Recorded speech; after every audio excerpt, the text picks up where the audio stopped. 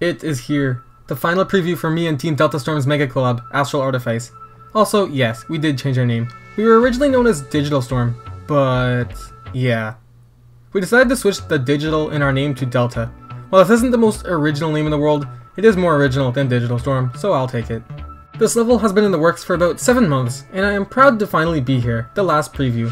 The next Astral Artifice video on this channel will be the full level release and a bit of history about the level, since building this has been one wild ride.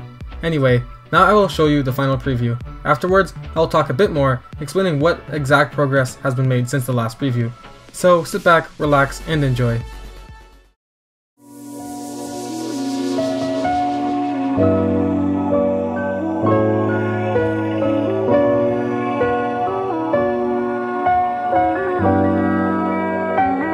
We'll be right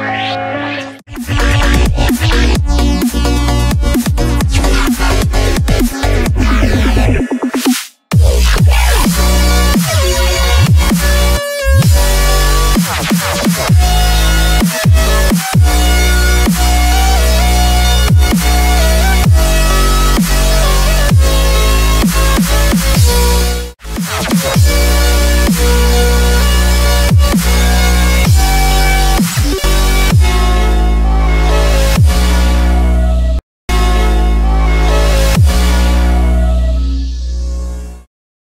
So here we are. Since the last preview, two new parts have been made. These are GD Melk's part and L3Q's part. Both of these parts are really well made and excellent additions to the level. There are currently two parts left to be built, and the end screen and the LDM and bugs to be fixed, of course. Anyway, that is it for this video. For those of you new to the channel, I highly encourage you to check out my other content as I upload actual videos regarding Geometry Dash and some community topics and not just level replays. So yeah, thanks for watching and have a great day.